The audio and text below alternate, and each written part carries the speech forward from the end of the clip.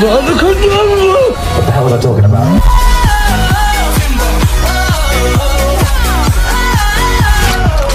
That cheeky little smile.